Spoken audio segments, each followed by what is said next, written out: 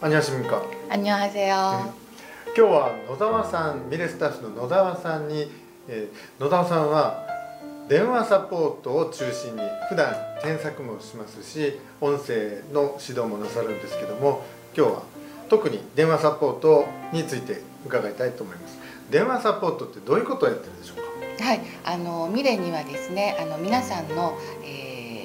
添削した記録を個人カルテとして残してるんですね。でそれを見ながら例えば少し間が空いてしまってる人とかもうあの締め切りの期限が迫ってる人なんかを中心にお電話をさせていただいてます。あ電話をした感じは？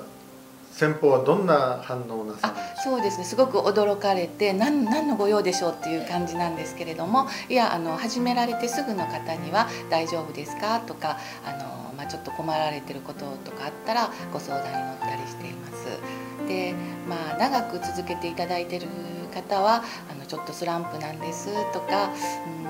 うんなかなか伸び悩んでるんですっていうふうなあのご質問をよくご相談ですね受けますのであの、まあ、私の、えー、体験も交えて、えー、お話ししています。例えばどんなアドバイスがそうですねあのう？ん少しあの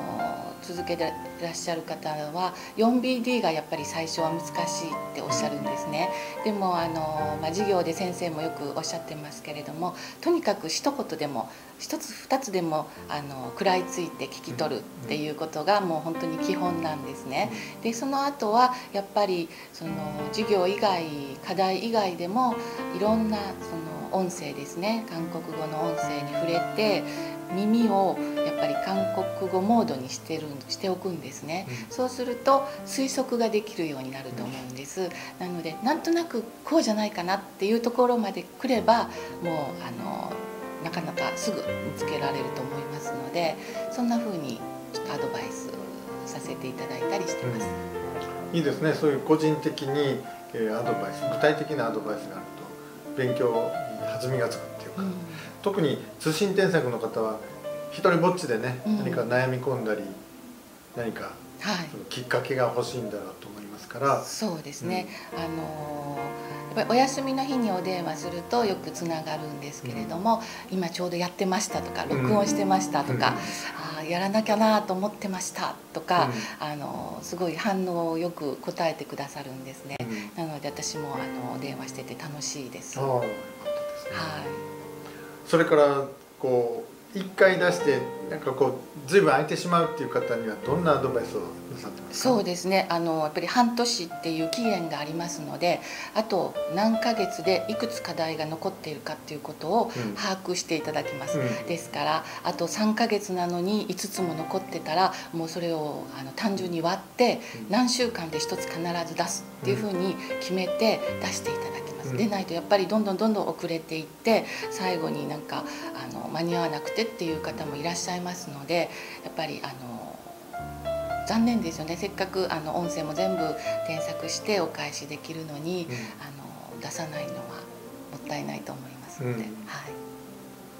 なのでカレンダーに印をつけるとかのあの自分の手帳に印をつけてちょっともう満足のいく出来上がりじゃなくても出してくださいっていうふうに、うん、はい、申し上げてま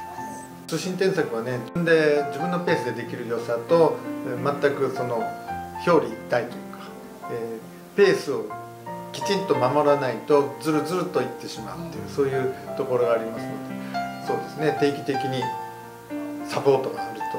と、ね、勉強しやすくなるし、ね、あの励みになりますね。そうですね。あのお声を聞いてお話しすると、まあ、その方のねあのおお忙しさとか、うん、今はちょっと無理なんだなっていうこともあの分かりますし、それでもやっぱり続けていただきたいので、はい、なんとか頑張ってくださいっていうしかないんですけれども、うん、はい、あの課題をお待ちしていますというふうに、はい、